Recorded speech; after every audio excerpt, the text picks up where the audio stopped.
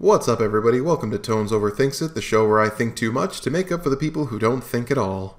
Today we're going to be taking yet another journey to the far side of the world to watch a sovereign citizen Karen get arrested. Very slowly, I might add. I don't have to give you a reason. Legally, you do. No, I don't. Um, all right, do you have any ID? No, I don't.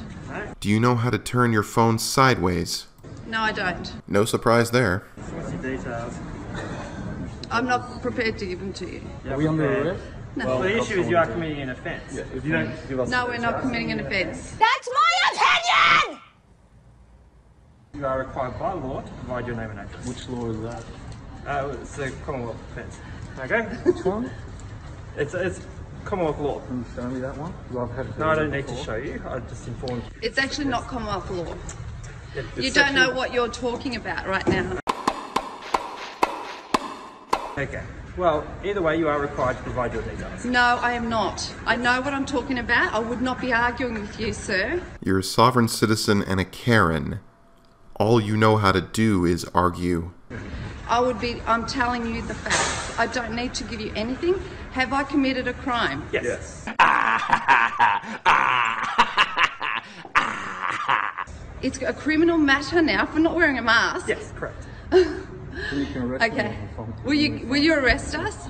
Technically. You can? Until we can confirm ID. Okay. we can We're not proceed. prepared to give you ID. Oh, yes, I perish the thought that I obey the law. We're, we're going to have to place you under arrest if Okay. you don't give us ID. Say that again. We're going to have to place you under arrest if you do not give us ID. And what's your name, sir? My name's Jared. Thank That's you. right there. And Phil Gibby. Okay. Can I have your details in writing, please?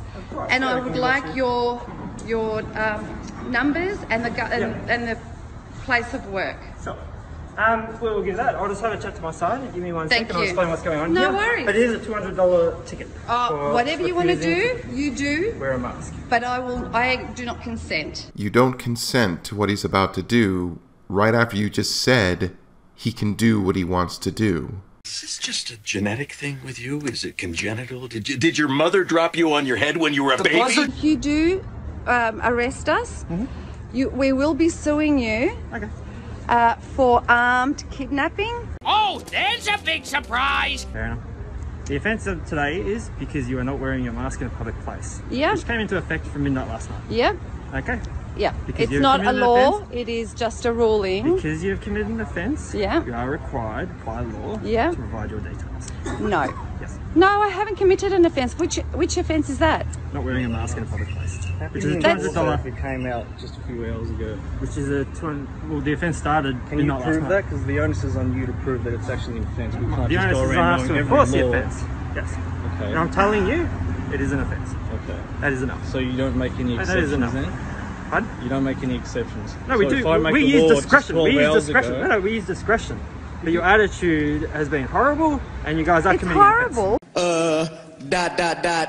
Yes! Yes. I've been I've been telling you what it is. I haven't been horrible. I haven't sworn at you. Mm-hmm. I haven't uh, been nasty. Okay. I'm, And I've, I've told you the Medical law. concerns as to why you can't use a mask, then that's fine. But that, that, that's not what you provided us Oh. with today. Yeah. okay. So you've had you've had no reason to not wear a mask in a Right. public place. What about not knowing about it? No. Wait, you haven't stated that at all. You said you guys have You said it came out in last law, night. All right. Yes. Th- There's no exception to that. It's an irrebuttable fact. Is that everyone Okay. is presumed to know. You're going to law. have to wait until I get my lawyer. came out last night. It's nice to know that it's not just America where people are idiotic enough to try to argue their case there on the roadside rather than, I don't know, in a court of law. Um, so yeah, because you have committed an offence today and you are required by law to state your name and address and you are refusing to provide your details, you are under arrest for that until we can confirm ID. Okay. So how do, how are you going to confirm ID?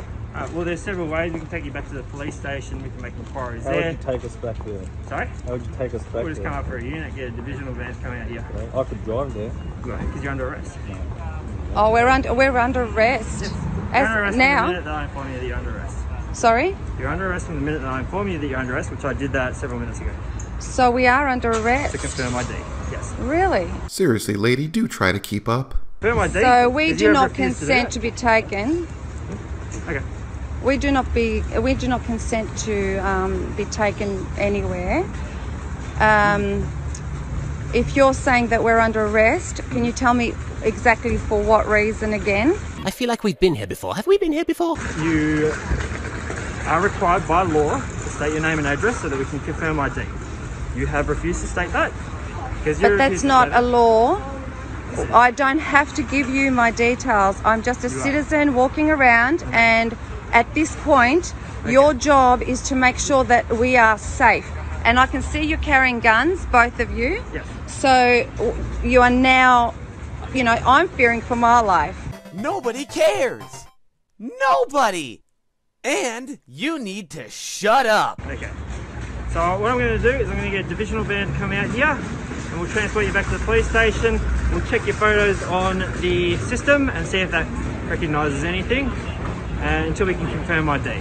Okay? Right. Do you have any questions? I do not consent to that, and I will be suing you personally Yeah. and you personally, not your department. They'll hear about it, but you will both be personally sued for $60,000 each. Okay. And he will be suing you for $60,000 each. Well, good luck with that. Do you want to continue? Yes, yes. You want to continue? Yes. Great. Let's go. Okay.